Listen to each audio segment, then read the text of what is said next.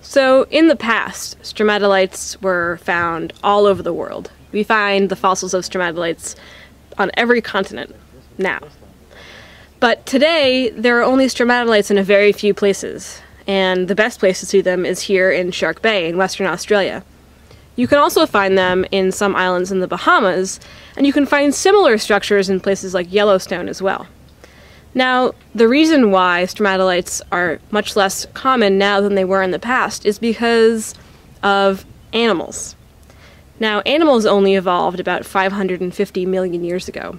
And when they evolved, one of the things they became really good at really quickly were eating microbial mats.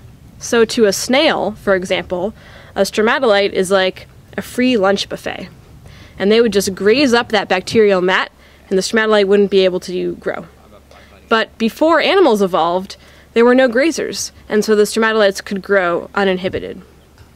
The places where we see stromatolites today are places where animals like snails don't like to live for a number of reasons. Here in Shark Bay, uh, it's because the, the water here is really, really salty. It's more salty than regular ocean water because it's an enclosed bay and there's more evaporation happening than there is water coming in, and so the water becomes very, very salty.